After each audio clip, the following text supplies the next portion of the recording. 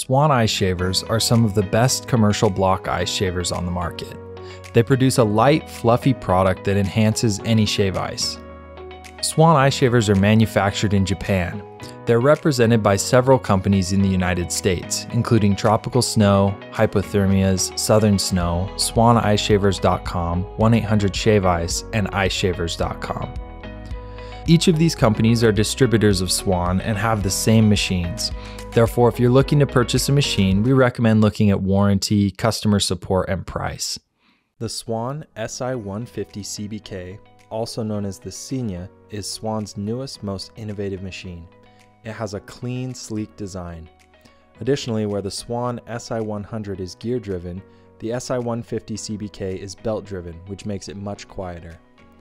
The SI150 CBK has a convenient adjustable blade, simple controls for easy operation, automatic shutoff features to prevent accidents, and can shave up to 4 to 6 pounds of shave ice per minute.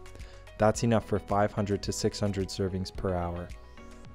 The machine weighs 49 pounds, is 34 inches high, 12 inches wide, and sits 13 inches deep. The machine requires a regular 120 volt 3 prong outlet it runs on 220 watts and is NSF certified.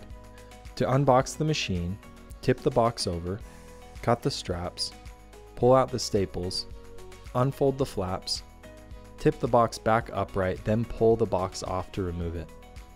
Follow the same process for the second box.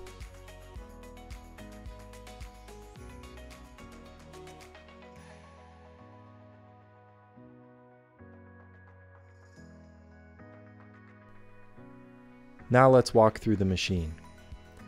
Plug the machine into a dedicated 120 volt 3 prong outlet. We have another video on power needs of the machine that is important to watch to make sure the machine is getting enough power to avoid problems with your motor and any issues that would void the warranty. This is the on-off switch. Adjust the crankshaft to insert your ice. You can adjust the drive tension, which gives you more or less downward pressure on your block of ice.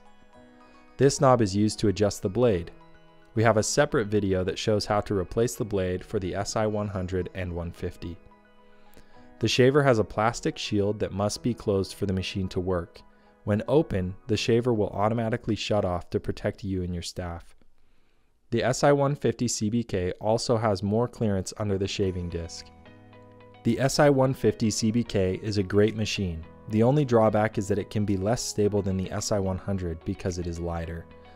The ice block must be placed in the center of the shaving disc to avoid this issue.